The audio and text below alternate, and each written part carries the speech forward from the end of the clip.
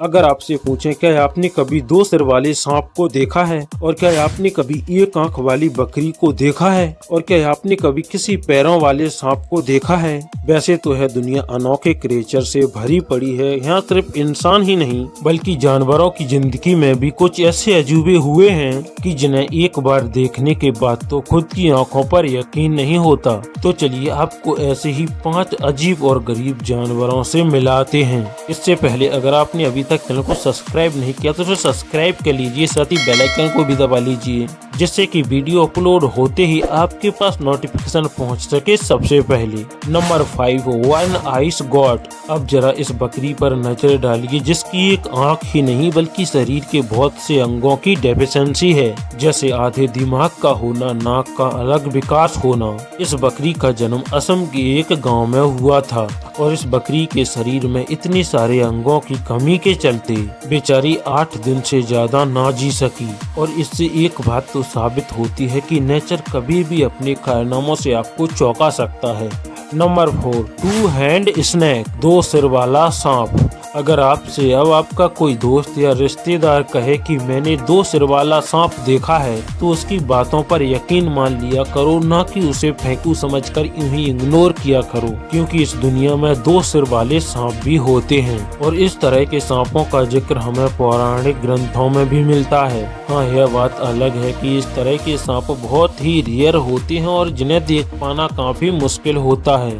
और इस तरह के सांप अपनी सभी एक्टिविटी भी करते हैं, जैसे जीभ निकालना, रेंगना और यही नहीं, एक साथ अपने दोनों मुंहों से शिकार भी कर सकते हैं। साथ ही है बहुत ही ज़्यादा जहरीले भी होते हैं। और इस तरह के सांपों की संख्या बहुत ही कम होती है, क्योंकि इस तरह के सांपों की दिमाग दो और बॉडी एक होने के कारण इनके दोनों दिमागों में हमेशा 36 का आंकड़ा बना रहता है। जैसे किसी को नींद आती है तो किसी को भूख लगती है, अचानक से किसी शिकार का आगे आ जाना, पहले अटैक कौन करे और इसी के चलते। इन्हें जीने में काफ़ी तकलीफ़ होती है और यही एक कारण है कि यह बहुत ही कम जी पाते हैं। नंबर थ्री स्नैक बेथलैग पैरों वाला सांप है। सुनने में भले ही अजीब लग रहा हो, पर यकीन मानिए पैरों वाले सांप भी होते हैं। हाल ही में एक जर्मन साइंटिस्ट ने अपनी टीम के साथ मिलकर सांप का एक ऐसा कंकाल खोजा है, जिसके चारों पैर साफ़ साफ़ देखे जा सकते हैं। और ऐसी कई रिसर्च की गई जिनमें पैरों वाले सांपों का ज़िक्र किया गया है। और इस तरह के पैरों वाले सांपों के अस्तित्व को नकारा भी नहीं जा सकता। Number two two face cat.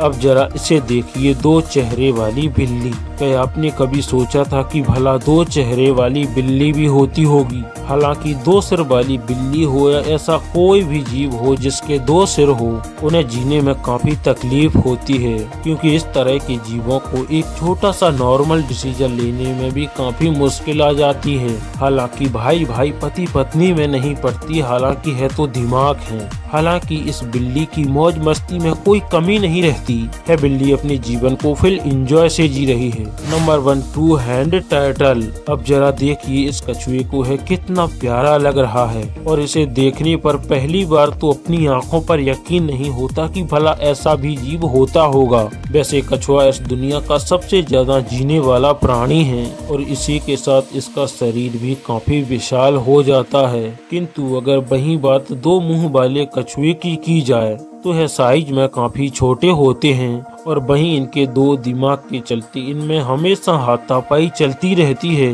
इस तरह की प्रॉब्लम हर उस जीव के साथ होती है जिसके दो सिर होते हैं। और इस तरह के जीवों को छोटे से छोटा काम करने के लिए भी काफ़ी संघर्ष करना पड़ता है। इसीलिए इस कछुए का जीवन भी ज़्यादा दिनों तक नहीं चलता।